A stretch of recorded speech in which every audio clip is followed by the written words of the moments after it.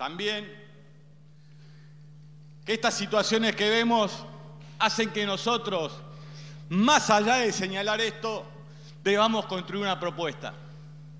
Que tengamos la inteligencia común suficiente para aprender de nuestros errores, para dominar y gobernar nuestras miserias y vanidades y realmente entre nosotros poder potenciar nuestras virtudes.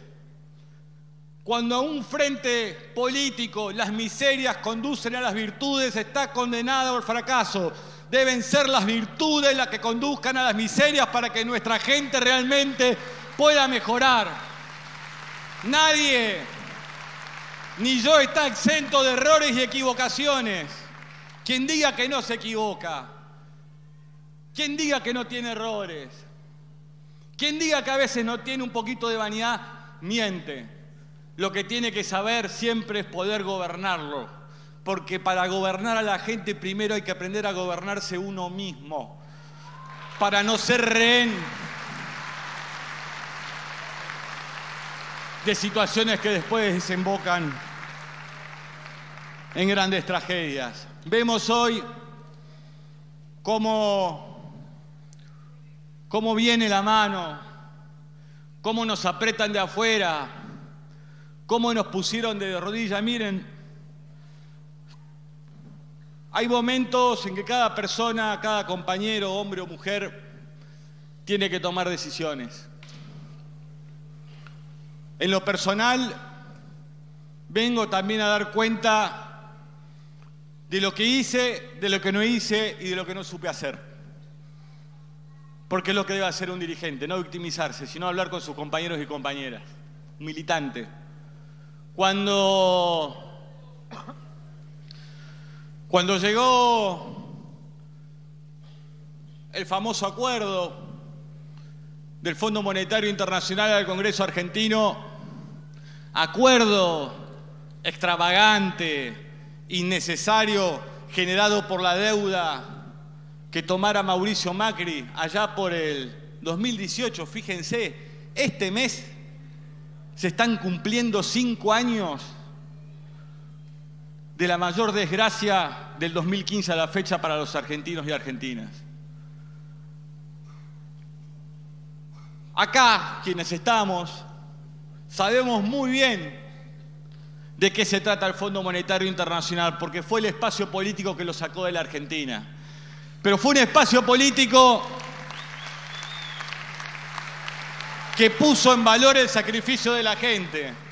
Las ciudadanas y ciudadanos argentinos ven peregrinar por los medios de comunicación dirigentes que le ponen y le piden sacrificios. Obviamente que va a haber que hacer un sacrificio inmenso para sacar nuestro país adelante. El punto es cuando un dirigente lo pone en valor.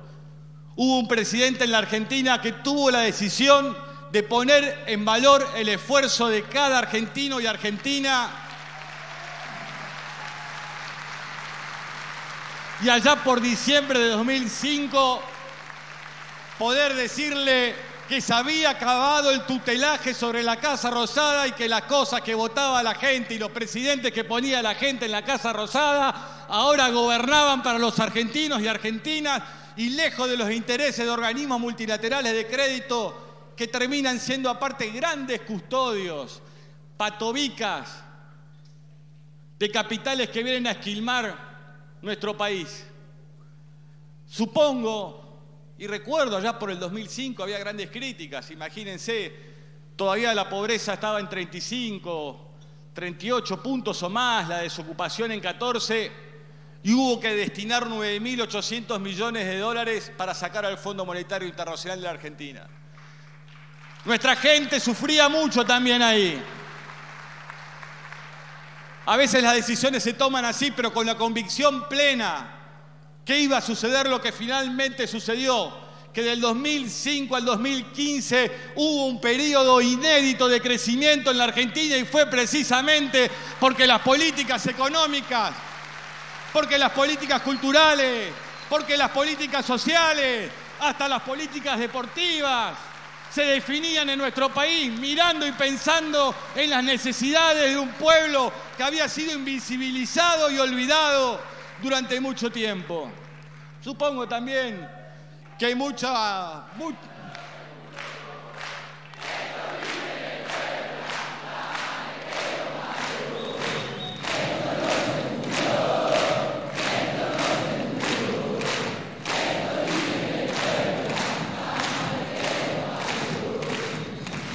Es allí donde realmente reside la capacidad de las dirigencias de mejorar día tras día, paulatinamente, la calidad de vida de los argentinos y las argentinas.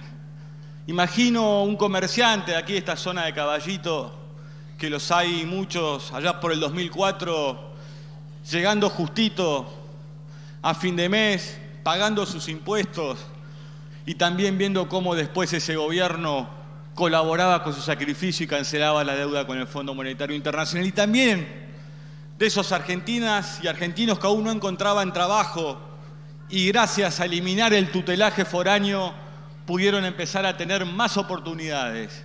De eso se trata gobernar, de generar la mayor cantidad de oportunidades para que cada argentino y argentina después sí pueda desplegar su talento, su voluntad, sus dones, su contracción al trabajo. Porque en ese momento, y lo hablé muchísimo con compañeros y compañeras, decidí dar un paso al costado de la orientación del bloque de la Cámara de Diputados. Más no, más no abandonar el bloque, sino que me quedé dentro del frente de todos. Solamente fui consecuente con lo que tiene que hacer quien lleva adelante esa tarea. Y lo hice con la mayor de las honestidades políticas e intelectuales.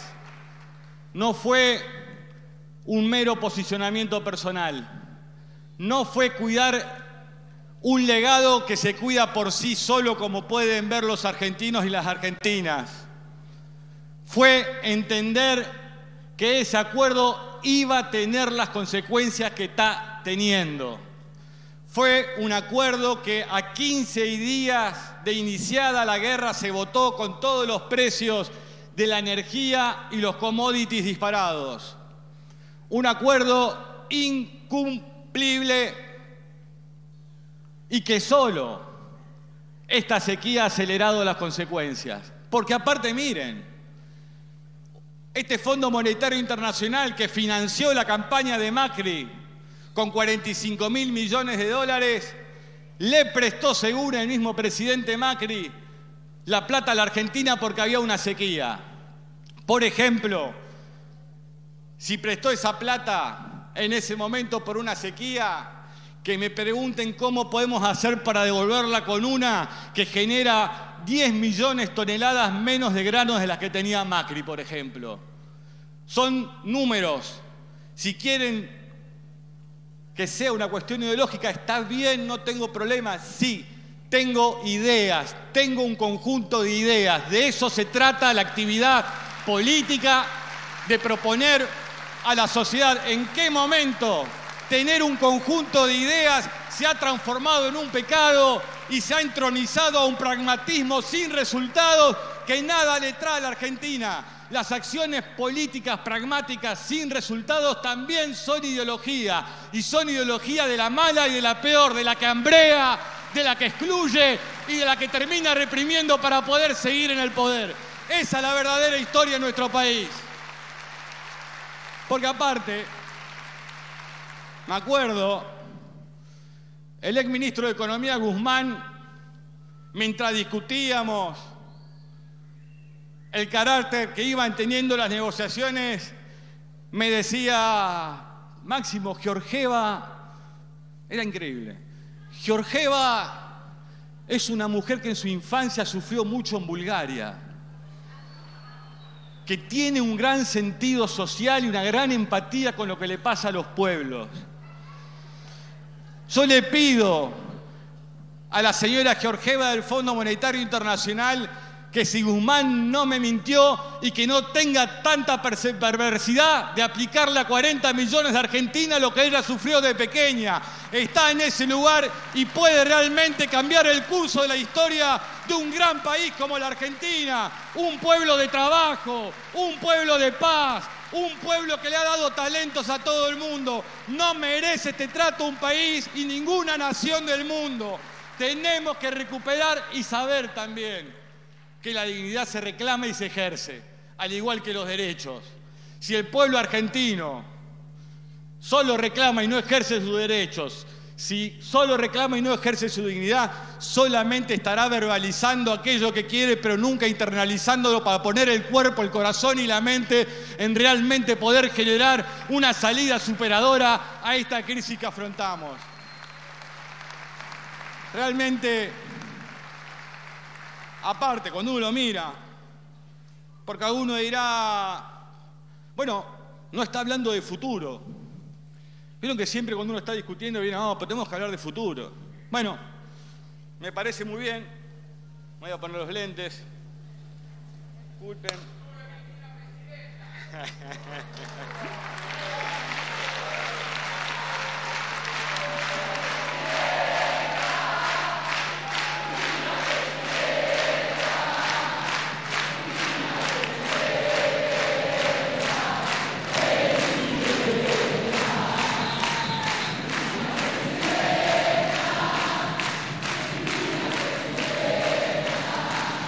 Yo les voy a hablar un poco de, uno de los futuros más difíciles que tenemos por delante. Los vencimientos que tenemos como país por delante. Y es importante que lo sepan. Que lo sepan para que ningún candidato de nuestro espacio ni ningún candidato de otra fuerza política lo olvide en cuanto a qué hay que proponer y cómo debemos hacerlo en la Argentina. 2024, 15 mil millones de dólares de vencimiento. 2025, otros 18 mil, 2026 18 mil, 23 mil, 24 mil. Ese es el futuro de la Argentina también. Ese es el futuro de la Argentina. Guste más o guste menos. Esa es la realidad. Y las realidades no se niegan, se afrontan, se transforman.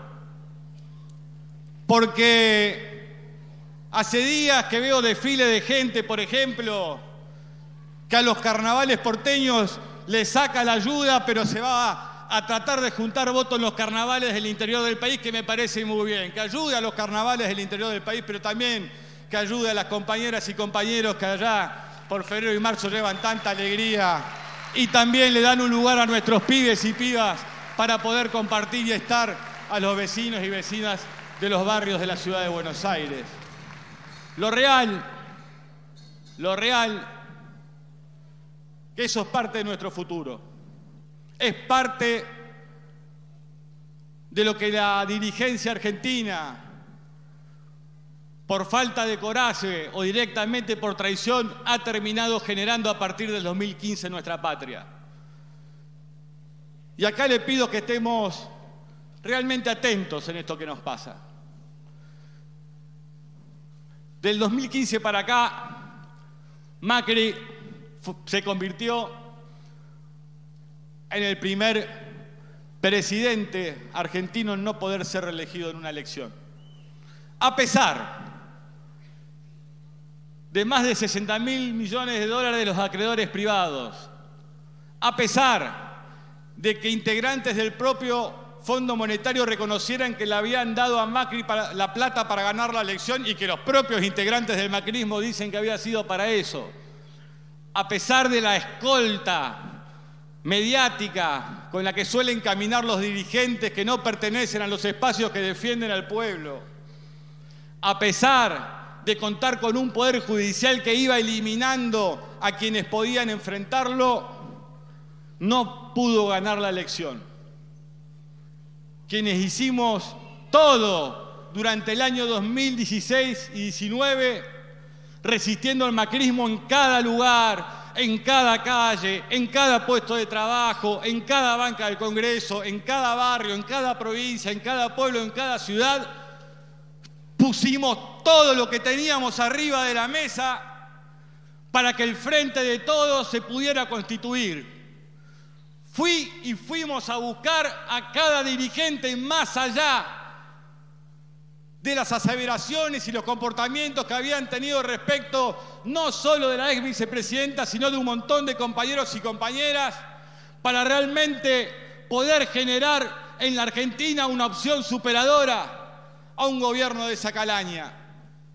Todo lo dejamos, todo lo dimos, todo lo pusimos arriba de la mesa. No hay derecho que alguien esté enojado y hoy no ayude a construir una nueva opción. Si hubo errores durante estos tres años, si hubo errores dentro de estos tres años, está bien, es bueno reconocerlos, es bueno reconocerlos, pero realmente es muy complejo y difícil si cada sector que integre al frente de todos todo el día está queriendo poner en duda su aporte por un lugar más o por un lugar menos en las listas. Creo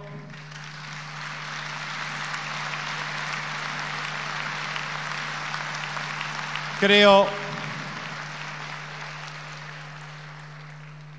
Creo formalmente y finalmente que hacer fotos con la cabeza para porotear algo nada tiene que ver con lo que está pasando a nuestra gente. No hace falta los acting, hace falta reconocer los errores que se cometieron, sentarse a dialogar, a hablar, a discutir, a proponer un programa y juntar los votos para poder ejecutarlo, para así mejorar la calidad de vida de la gente. De eso se trata.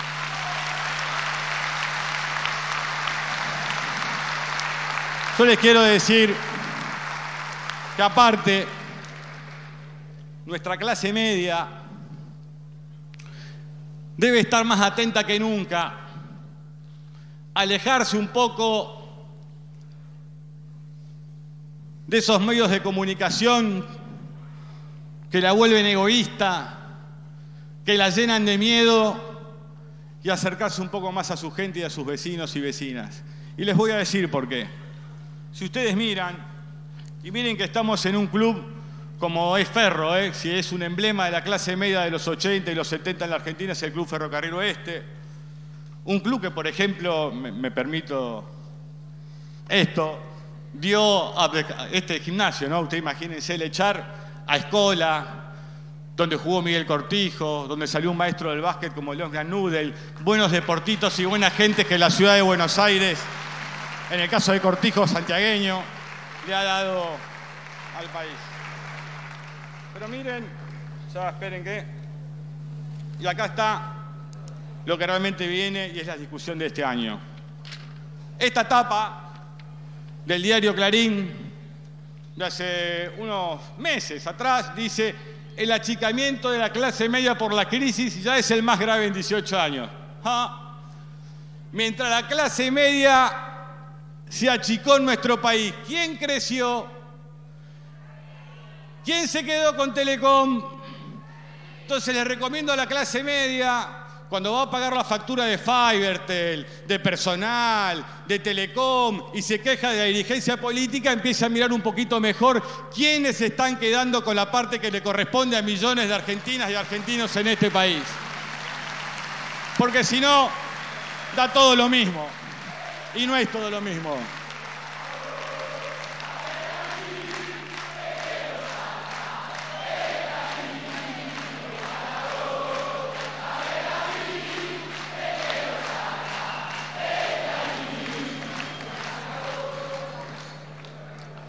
Porque estas cosas muchas veces son las que no se entienden.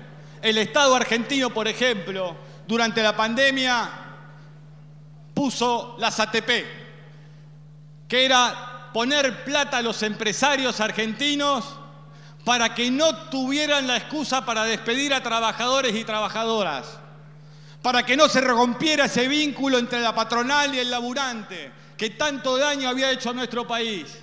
Mirando un poco retrospectiva y viendo el comportamiento que están teniendo esos empresarios hoy que remarcan precio todos los días, quizás tendríamos que haber hecho que la devuelvan, porque esa plata que el Estado le dio es la que hoy presiona sobre el dólar LIC y el MEP y el excedente que brindó el Estado para cuidar a los trabajadores y a las trabajadoras se usa ahora para castigar a ese pueblo. También fueron las mismas trabajadoras y trabajadores que aceptaron no cobrar la totalidad de su salario y lo hemos discutido en su momento para colaborar con una inteligencia muy grande con esos mismos empresarios que hoy asusan los precios y quieren quebrar la voluntad de un pueblo. Son los mismos que iban a la Casa Rosada y peregrinaban por cuanto ministerio había durante la pandemia para conseguir plata y ahora van al yao yao a decir que tienen las soluciones. La hipocresía de los sectores de poder económico en la Argentina tienen que tener una gran respuesta ciudadana de los argentinos y las argentinas. No podemos dejar que nos sigan llevando por delante de la manera que lo están haciendo. Si la dirigencia no se anima, nos animamos los militantes y las militantes. Y la dirigencia que haga lo que quiera, compañeros y compañeras.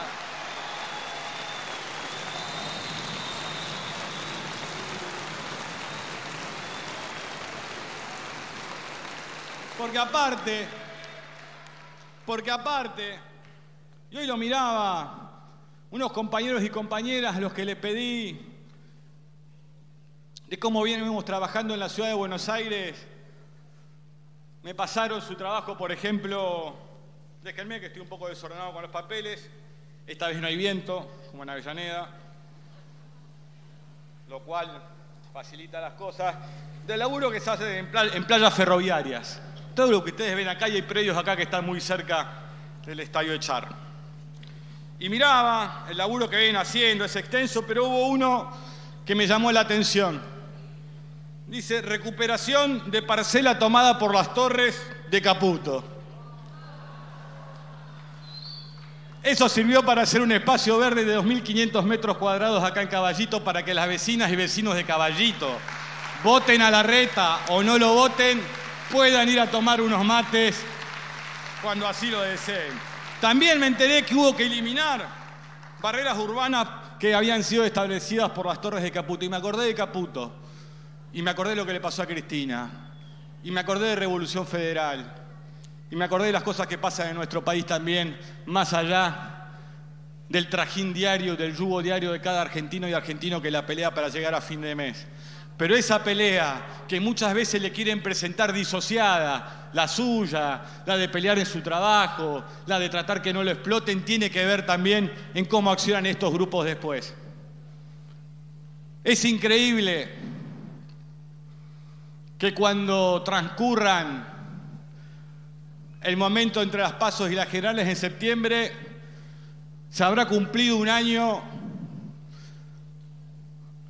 de un atentado sobre quien fuera dos veces presidenta de la Argentina y actual vicepresidenta, sin que el Poder Judicial pueda decirnos qué ha pasado. Resulta que aquellos que decían que había que actuar de la misma forma que actuaron esa noche, de manera artera y cobarde, ahí en Jucali, Uruguay, en la ciudad, los mismos que decían que había que infiltrarse y cantar la marchita, terminaron teniendo negocios con este grupo Caputo, que acá en Caballito conocen muy bien, por 13 millones de pesos, que primero decían que era por alquileres, después por mesitas de luz y finalmente por nada. Esa es la Argentina en la que vivimos. Esa es la Argentina en la que estamos. Esto es lo que está sucediendo hoy. No es gracioso y es más bien muy triste. Porque en la Argentina tenemos, después de la tragedia y del genocidio que generó la dictadura en la Argentina, si algo siempre hemos hecho como espacio político, como partido político que más desaparecido se llevó la dictadura, es tener una cultura política y democrática que realmente represente los intereses de la gente y que pueda dar los debates y las discusiones lejos de la violencia. Pero estos hechos impunes, estos lazos entre los grupos de poder económico y grupos de ultraderecha tienen realmente que ver también con lo que ha terminado sucediendo. Miren, desde que tengo memoria en este espacio político, la virome, la virome siempre la han tenido los militantes y las militantes. El problema que tenemos hoy, el problema que tenemos hoy es que las viromes quieren escribir un nombre y el Poder Judicial saca el nombre que quieren escribir esas viromes para esta elección. Que nadie se pase de vivo acá. Que nadie se pase de vivo acá.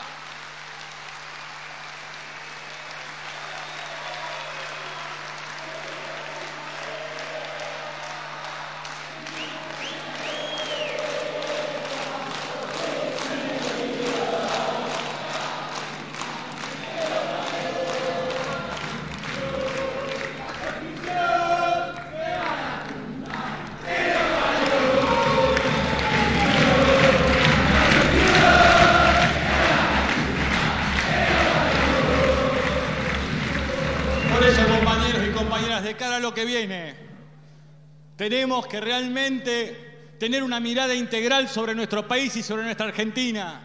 Tenemos que realmente animarnos a dar la pelea. Tenemos que preservar nuestros bienes naturales comunes y que la explotación de nuestras materias primas puedan tener valor agregado en nuestro país y se paguen por el valor que deben pagarse. Y no, como desde la época de Potosí hasta acá, esquilmen a los pueblos latinoamericanos y al argentino para abastecer las factorías de allá. La Argentina hoy, nuestro país, tiene 40 puntos de pobreza con 6 puntos de desocupación. ¿Sabe qué significa eso? Que tenemos compañeros y compañeras con salario en blanco que están siendo explotados y explotadas en sus lugares de trabajo. Hay que dar vuelta a la taba paritaria, suma fija o doble aguinaldo, pero que hay que dar el presente y realmente poner los recursos en nuestra gente y no los mismos empresarios que después extorsionan para llevarse la plata afuera y rompen el mercado cambiario argentino.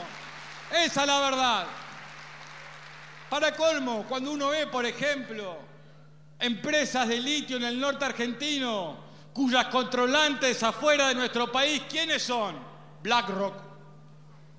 El mismo también que se aprovecha de nuestro litio es el que hoy tiene gran parte de la deuda argentina y que fue socio estratégico de quién? Para no olvidarnos de las Torres Caputo, Morel, del Messi de la finanza, Toto Caputo, Messi. Realmente la que ponen en los medios, la que ponen en los medios o la que le hacen ganar a esos tipos para que te digan que sos el Messi de las finanzas y hacer el desastre que hiciste en un país, es llamativo. Tan llamativo como la pauta que pone la ciudad de Buenos Aires en todo el país. Miles y miles millones de pesos para que su candidato no pueda superar aún a una persona que confunde deflación, inflación y que no sabe cómo funciona la economía. Miren la mediocridad que hay en la Argentina. Miren la mediocridad que hay. Miren, miren que aquellos que señalan con el dedo a nuestras pibas o pibes más humildes, aquellos que critican a la salud pública, a la salud y a la educación pública, mírenlos. Si el jefe de gobierno que tanto se preocupa por la educación piensa que el ser humano se unió para derrotar al dinosaurio. Y después también piensa que el gas de Bolivia viene en barcos. Yo le pido a la derecha argentina que abandone la escuela privada y vuelva a la escuela pública, donde realmente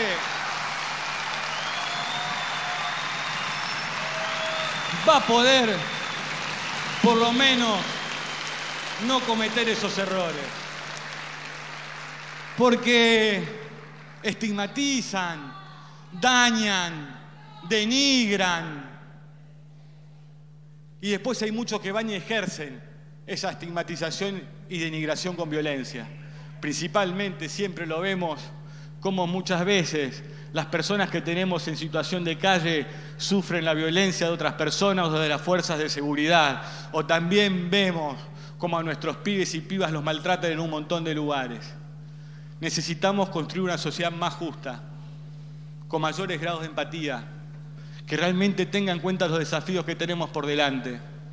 Creo que, como vemos y decíamos, y para que tengan en cuenta este partido político que gobierna la ciudad de Buenos Aires, que ahora dice que hay un gasoducto que va a traer milagros en la Argentina. Yo le quiero contar a mis compatriotas que no.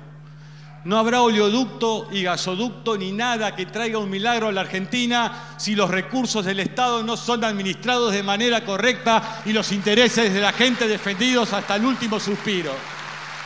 Porque, como bien dije en Avellaneda, me tocó ser muy pibe cuando decían que Loma La Lata era la salvación de la Argentina allá en Neuquén y fue parte del milagro, pero del milagro de Chile, ¿no? no hubo ningún milagro en nuestro país. Entonces, esa fuerza política votó en contra de la recuperación y nacionalización de IPF, allí donde estaba Vaca Muerta. Y ahora es la misma fuerza política, por ejemplo, que votó en contra del aporte solidario que hicimos con el compañero Heir y cada diputado o diputada de la Cámara y que incluía para que los que más tenemos en una época dura aportáramos a la Argentina. Y parte de esa recaudación fue también para financiar el gasoducto que va a poner en valor y primero debe llevar gas a argentinos y argentinas. Segundo, ser factor para elevar la competencia de nuestro sector industrial y recién, una vez que los argentinos y las argentinas en sus casas o en sus industrias hayan hecho eh, uso de ese gas, recién pensar en la fase exportadora. Porque esto de que todo sale, la verdad que es parte del problema que tenemos hoy. Miren, 2020, 21 y 22 el saldo de exportaciones e importaciones ha sido absolutamente favorable a la Argentina. Más de 25 mil o 30 mil millones de dólares. Las reservas son las mismas que en el 2019. Gran parte del trabajo argentino se ha ido para financiar la deuda que tomó quién? Otra vez los mismos del ATP, otra vez los mismos del precio, otra vez los mismos de Telecom, para pagar las deudas que las empresas privadas contrajeron en el exterior durante el gobierno macrista. Estas son las cosas que la compañera Cristina fue marcando no con el diario del lunes, sino con el diario del día. Y maldigo hoy todavía que no haya sido escuchada, no por ella, sino por mi gente que la está pasando mal. No eran posicionamientos de poder, Queríamos que a nuestro gobierno le fuera mejor. Queríamos que a nuestro gobierno le fuera mejor. Esa fue nuestra intención. Y aún con las críticas que saben que tenemos, nunca voy a dejar de reconocer que fue mucho mejor para mi Argentina y para mi país que en la pandemia estuviera Alberto que Mauricio Macri. No especulo. No juego a la política y dos carguitos más o menos. Queremos que a nuestra patria le vaya bien. Mucho ha pasado en nuestro país para seguir jugando a la politiquería barata y al toma y daca. Compañeros, compañeras, les pido, les pido, no solo este año, sino los que vienen, que no aflojen, que no se desilusionen, que si algo no nos sale bien, no es porque estemos no pensando en la gente, sino porque a veces no todo sale como queremos. Ayúdennos a equivocarnos menos, participen más, corrijan y mejoren el margen de error de la dirigencia. Si ustedes se meten en todos los lugares, nos vamos a equivocar menos. No es hora de replegarse sobre la banca. Si alguien tiene bronca, acá hay un espacio político que la puede traducir en energía en trabajo, en calidad de vida, en poder adquisitivo, en desarrollo tecnológico de nuestra industria, poner en valor a tantas argentinas y argentinos que todos los días se levantan temprano, se toman un bondi, se toman el tren, van, vuelven, dan vueltas por la vida mientras nosotros parece que no queremos discutir lo que hay que discutir porque no da miedo enfrentar a los poderes. No hay que tener miedo, hay que tener coraje, voluntad, hay que participar realmente. Es hora que ustedes, que todas y todos salgan a convocar. Miren, y para ir concluyendo con este tema de la libertad. No, puedo hacer lo que quiero, la libertad, la libertad. Yo le quiero decir a las personas que honestamente creen en esos postulados que en el océano nada prohíbe al krill comerse a la ballena, pero siempre es la ballena que se come al krill. Así si se miran en el espejo, miran y la cuenta y no son una ballena, por favor tengan cuidado con ese tema de la libertad. El Estado debe estar presente allí donde el mercado excluye. Lo aprendimos hace muchísimos años. No debemos olvidarlo. Debemos dar el presente. Les pido, para ir concluyendo, que este 27 de abril se acerquen al Teatro Argentino de La Plata a acompañar a Cristina, que den el presente, sean felices, peleen, generen, trabajen, estudien, crean, denlo todo porque quienes estamos acá también lo daremos todo. Los quiero y las quiero mucho. Compañeros, compañeras, hasta siempre. Nos estamos viendo y como siempre, a vuestras órdenes. Muchas gracias por esta enorme asamblea de militancia popular. Generen, creen y den el presente. Gracias, compañeros y compañeras.